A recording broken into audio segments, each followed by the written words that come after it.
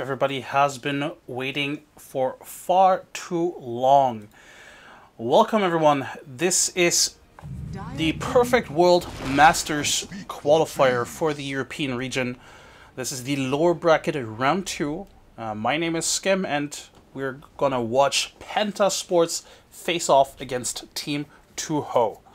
Um, we've just, if you have been watching for the past couple of hours, you might have been watching Penta lose to Mousesports. But if you've been on the BTS main channel, you might have watched Tuho win against Rocket Scientists. So two completely different stories here. Penta coming fresh off of a loss, whereas Tuho fresh off of a win.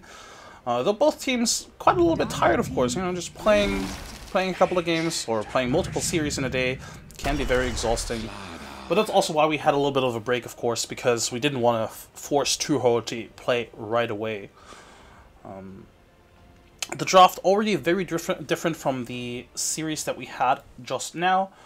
So basically, we see the Necrophos, the Venomancer immediately banned out. Penta no longer forced to ban out the uh, Wisp, which they didn't want to give Mousesports, of course. And then we have uh, Tuho with a completely different approach as well. I mean, AA Slardar, not necessarily... I mean, AA, of course, a hero that we've definitely seen a lot of lately, but Slardar, not so much. Sort of fallen out of favor.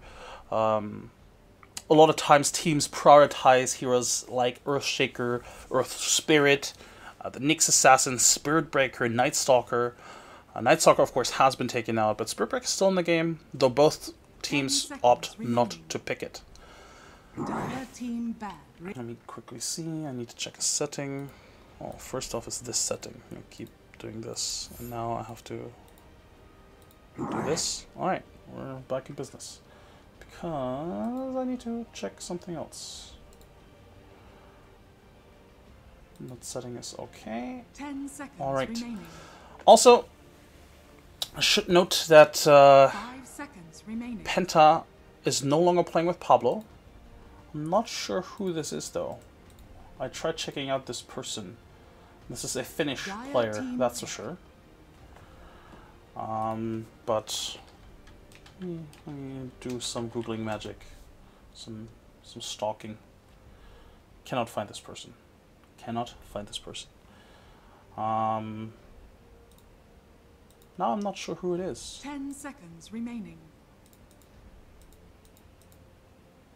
Five seconds It's remaining. not Arman, that's for sure. It's also not Skeeter. So I am not sure who this is. So I don't know. They have another stand and that's bad as it is. Because if you're you know, if you're playing in a qualifier for a tournament, you of course do not want to play with too many stand-ins, but Penta already have had a couple of roster changes since TI, of course, so maybe this is another one long term. I don't know, I should, probably should have asked them actually. Oh well. Looking at the bands, uh, some interesting bands coming out. Pugna and Puck, of course, being taken out. Um, don't really want to give Penta too much combo potential. You know, Pugna and Prophet, just very potent. And at the same time, Penta just making sure with that Broodmother pick, do not want to get Broodmothered. They unlikely will have a hero that can deal with the Broodmother.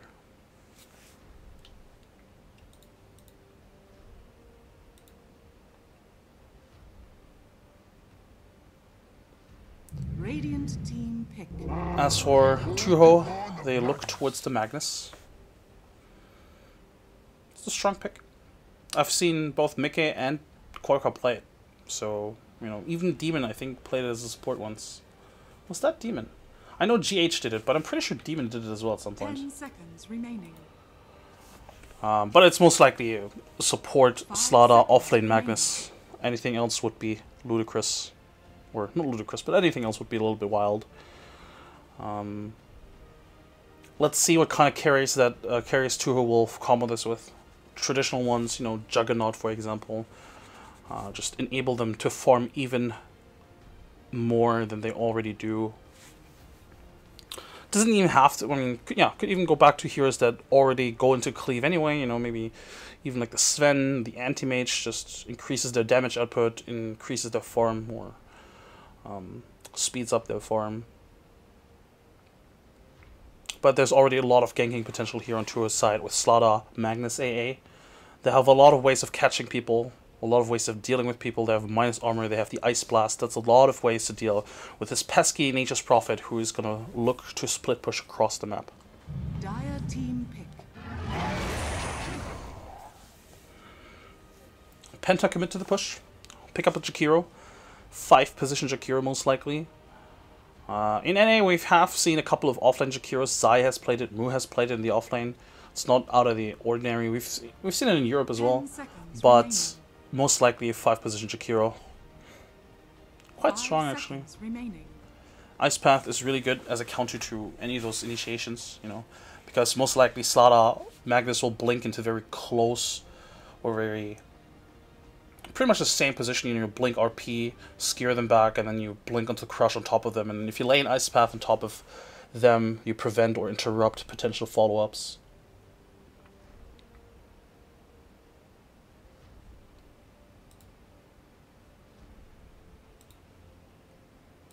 Radiant team pick. Phantom Assassin. Phantom Assassin is the pick. Wow. That is a strong Magnus combo. And that's a lot of mid game aggression. You get get an early blink with the Slardar, you smoke up with the PA, and you look for kills. Ten seconds remaining. The question is, how are Penta going to respond to this? Uh, thus far, from what I've seen, they tend to pick their mid hero first before they pick the carry. Let me check. Yeah, I've seen a lot of carry last picks. I mean, it differs obviously from game to game, but we'll see. Oh, they're gonna go with the Ursa first, which can still be a mid hero. But interesting they go with the Ursa. I guess it makes sense because if you do get initiated upon, right, if you do have the Agonist, for example, you can just ult out of, say, the RP or the Crush.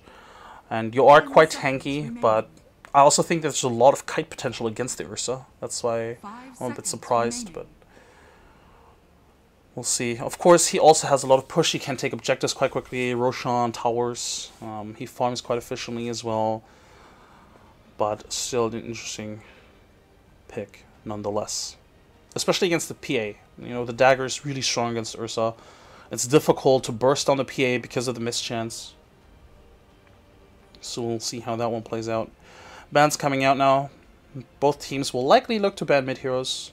Sure, Ursa could be a mid mid hero as well, but I still think it would probably be safe to ban a mid hero here.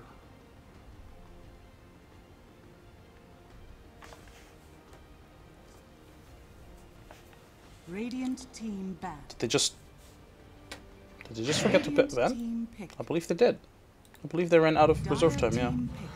All right, Queen of Pain is the pick for Penta. And with a Viper ban, it's going to make it a little bit more difficult for Tuho to find a mid hero that can dominate this matchup. Um, let's see, what can they pick here?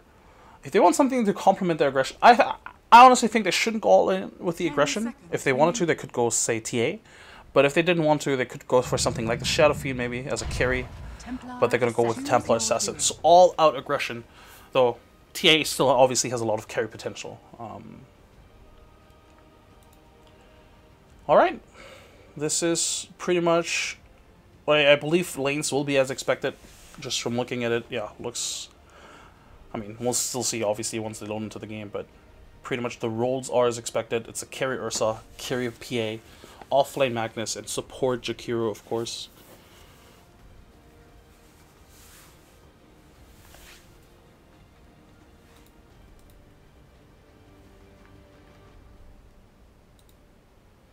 I wonder if my chat's not loading or people are just not chatting.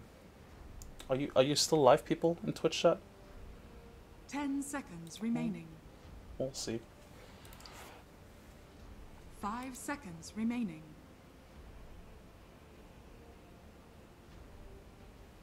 I think going into this game, I would probably favor Tuho. Mm, uh, I like their lineup better. But I do think that Penta, I mean, I've seen them play just now, and they definitely can execute a certain style together with a Prophet. And I believe this is going to come. I mean, as always, it's going to come down to, you know, the rotations and the timings, really. Um, who's going to get the blink first? If Salah can find a blink before the Ursa, which he shouldn't, obviously, but if he can, that could totally swing the game into Tuho's favor. But in general, I mean, I guess you could say that about any support. Oh, if he gets that before the carry, well, no. But in general, I do think you know the the blink on the slot is going to decide or dedicate or dictate the tempo of the game or the pace of the game, and that's where it's going to be. So look towards Insania to make things happen. But for now, we have the ward dance. Insania isn't even smoked up. Wow. Um, Jakiro is putting up a very aggressive ward. This is a much more common ward as well now. Provides a little bit of vision here. And blocks the camp, of course. And it's behind the tree, so it's not necessarily easy to scout out as well. Insania gets scouted out. Has the crush, but doesn't need to use it.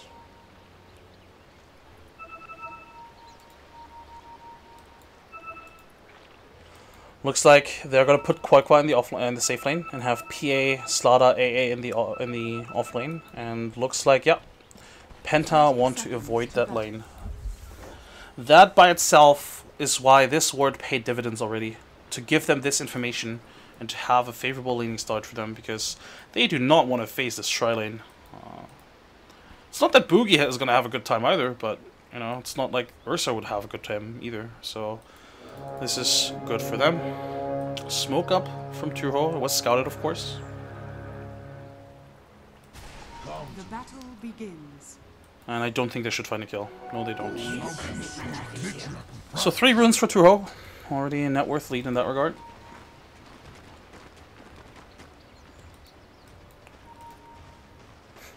Ping's coming out from Mickey.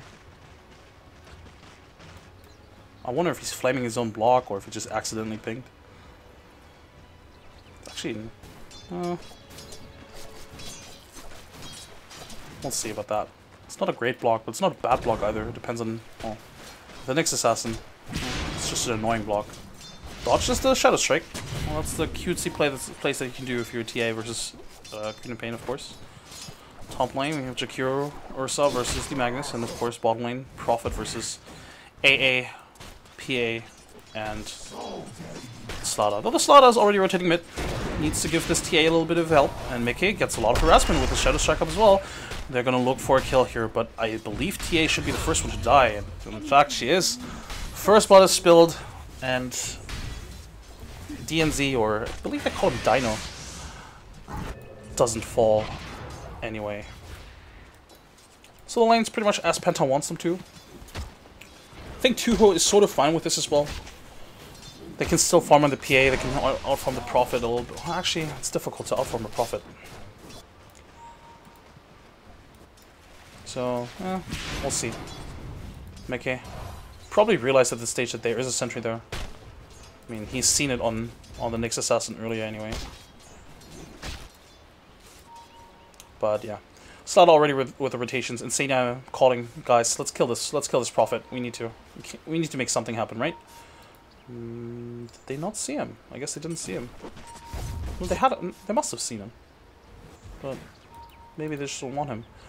Secure runes first. I suppose TA harass quite a bit. Again, there's a sentry right here, and Mickey might just die again, even with the Faerie Fire. Might keep himself alive. No. Maybe he could have gotten that kill, but well, it's very difficult against an assassin with a stout shield, no less. So already a very difficult to bring down hero. And TA, she's still farming okay, but of course giving up two kills is never great. Also has a bit of cooldown on the, on the TP. Fortunately for her though, it's a big creep wave coming. So lots, lot of, lots of experience at least. Not sure she's going to be able to farm everything underneath the tower though. Skira from the Ursa back to tower range, but Koika, that's harassment, it's nice. But has to be careful, Salve's pop. Chakra's going to cancel it, but Oliver in turn gets that kill. So overall that's actually not bad for Quaker. Because they ran through that self. Both Oliver and the Jakiro are now low on regeneration. And yeah, mid lane TA did get a lot of last hits in this lane, so not bad for her. Mine forced out the Meld, and now they got rid of Refraction. Can they kill Mika first? Dino's getting really low with the Meld Strike on top of it for sure. Insania has a crush in 3 seconds, looks to be chasing it. In the meantime, Gala gets a kill onto Boogie, but we're to follow this one. Mm, Insania is probably to fall here, does do so indeed. But bottom lane, they get the much needed kill here.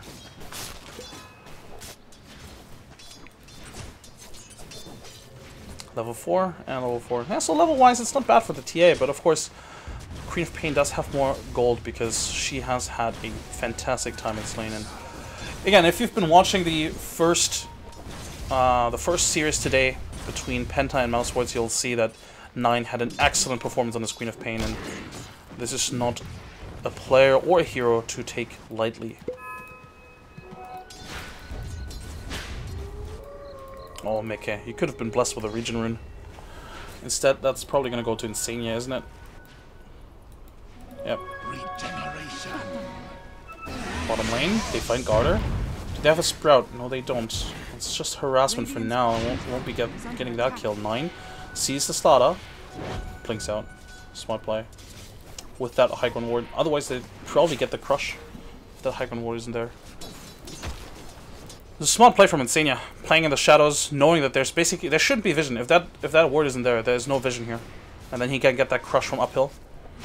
But of course, that ward, I mean, it's, it's just there.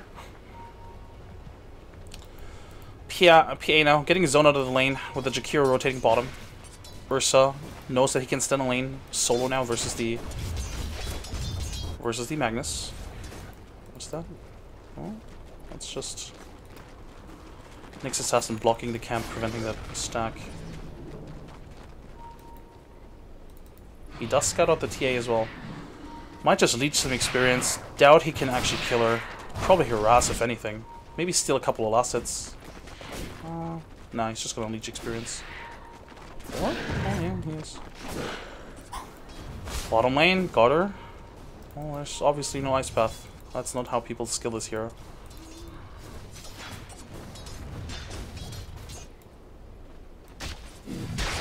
Nyx Assassin is doing a really good job staying out of this TA's division. And in the meantime, Insania gets a lot of experience here. So thus far, I think I think both sides are sort of content with how the lanes are going. Uh, I mean, obviously, Tuho doesn't want to lose the lane. Bottom lane, they're going to go into Boogie again with a slow from the of Venom and the Cold Feet on top of it. This might be a kill here. There's another dagger, and the Sprout is going... Oh, the of Venom. Butter? Nah, he surely can't go for this kill, right? He surely can't go for this kill. With the Cold Feet? No. I mean, obviously it's not going to proc. That's just never going to do it because, you know, timing. But the damage potentially could have gotten him a kill. But yeah, the point I was trying to make, obviously you don't want to lose a lane, but I think, you know, if you have accepted the fact that you have lost the lane, you can just trade here. But Mickey, getting harassed, he's gonna...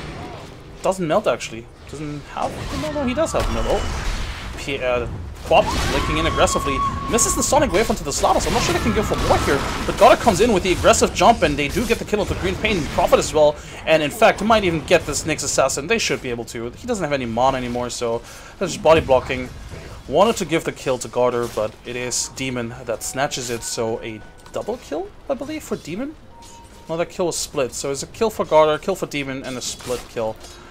Overall, a very favorable trade here. The only unfortunate thing is that TA died before everything went down, so she didn't get a single piece of experience for that. But yeah, a very aggressive blink forward from the Queen of Pain, trying to get the kill. Didn't see I mean, I guess they should have seen the rotation, actually. I wonder if they went through the shrine or not. Either way, though, very difficult for them to deal with that. But, of course, Penta immediately going back to the push. But, again, Tuho, great trade for them. Great start for this Garter PA.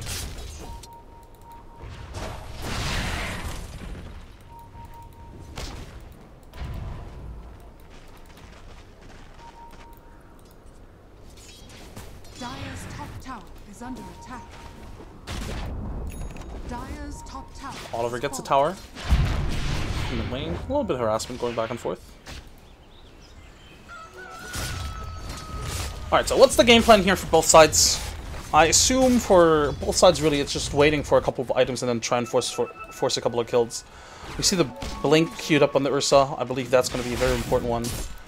Um, though actually, yeah, I guess Tuho kind of want to take a little bit slower because their items are going to come online a little bit slower. They could smoke up with PA Slardar even without a blink, but it's going to be difficult to find kills. Ursa certainly isn't going to be easy to kill. Queen of Pain isn't going to be easy to kill. Yeah, prophet and the supports for sure. But I think for now, trying to get better trades is what, or trying to get trades is what Tuho is going to look forward to. As you can see, Penta pushing two towers, Tuho immediately going to look towards his bottom one. And for them, that's a sufficient trade for now, because it does give them a little bit of room. And, of course, also the gold. Jakiro smartly TPs out. Mid lane Koifa trying to divert this creep, creep wave. Not successful, though. So, yeah. This is just a lot of damage, tower, damage traded. But again, for Tuho, this is access to the tier, uh, to the jungle here. And they can still defend this tower, yeah? Oliver getting slowed down. Garter doesn't really want to get too close to Nursa. He is by himself after all.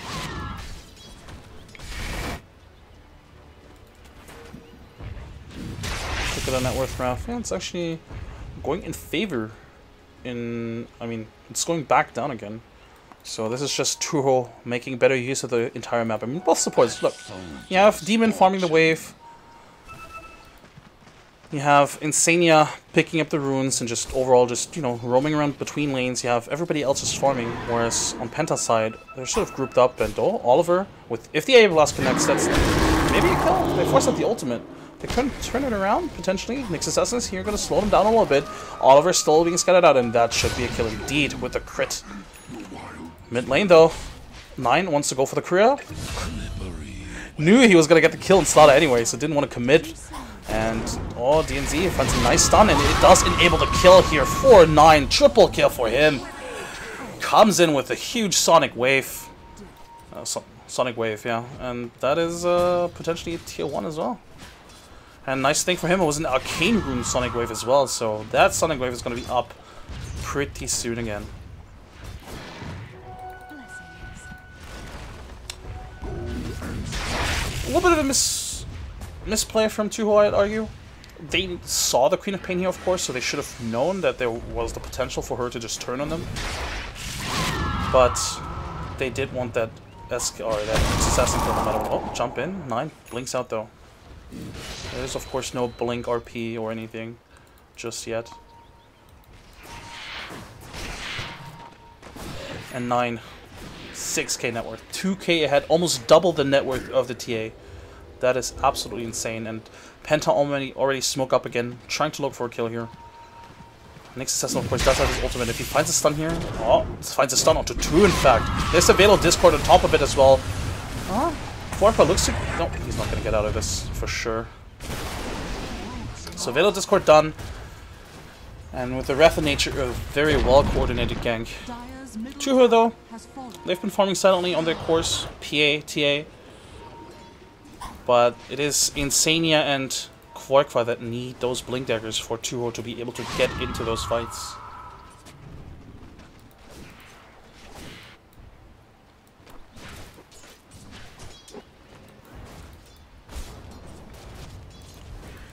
Mugi, gonna go for the standard drums build. Still not gonna go Orb of Venom. Interesting. I guess if he's not gonna be a lane dominator, like you usually see from those prophets that do go Orb of Venom, don't really need it.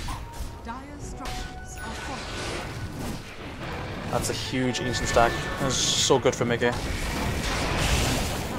He's gonna get a little bit of help as well from his team. But looks like yeah, they're pinging it out. Penta do not want to give them this huge ancient stack, and it's going to take them some time to take it. They see... Yeah, they, they saw the Nyx Assassin. They know that he's here. And... Oh, they couldn't get the Invis. I think Nyx Assassin should know that they know.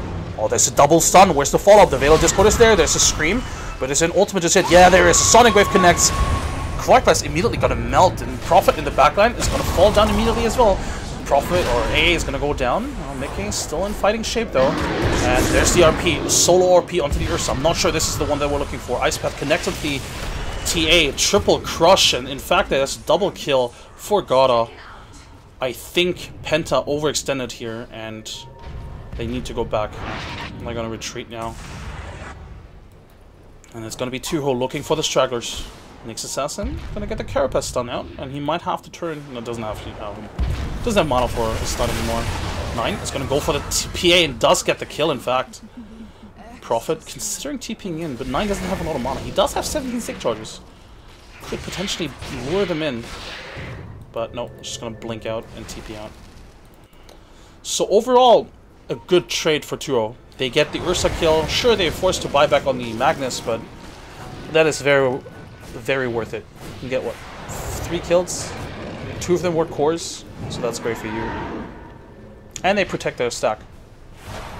Though as I say that, TA, Ursa's coming in with the Nyx Assassin under the guise of his ultimate. They're still the sentry though, keeping vision and track over the Nyx Assassin. Then there's a stun connecting. Ursa jumps in, and they get the kill into the TA. Oh. Slardar is still here as well. Shadow Strike does connect, and with the Veil of Discord, that's a dead Insania. PA comes in as well though. Snatches the Nyx Assassin.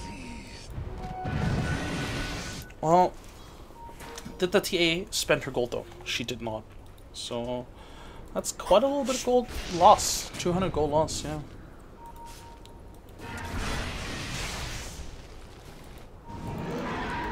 And this opens up, of course, towers. Whenever Penta will take heroes, they will also take down towers. Tuho cannot really trade just yet because the lanes are getting constantly pushed in.